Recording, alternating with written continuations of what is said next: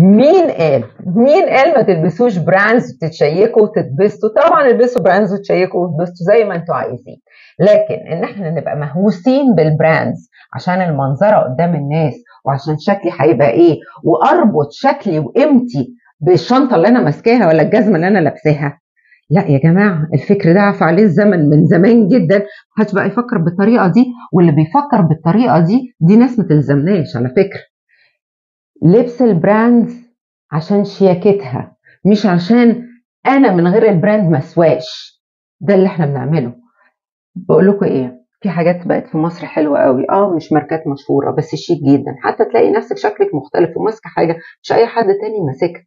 لكن إن أنا أتهوس بال brands لدرجة إن أنا أبقى متعذبة في كل خروجة وأبقى خايفة على نفسي الناس تقول عليا إيه وأبقى حاسة إن أنا في نقص عشان مش لابسة براند لا حرام عليكم نفسكم. إن أنا أروح أشتري هاي كابي علشان إزاي ما أمسكش آخر شنطة؟ لا ده لا يليق بيكم. بفكر جديد تقدروا تبسطوا حياتكم وتتبسطوا.